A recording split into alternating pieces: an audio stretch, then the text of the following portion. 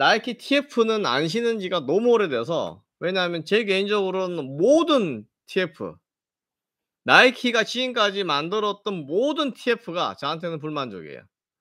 아주 옛날 거부터 예를 들면 피날레였나?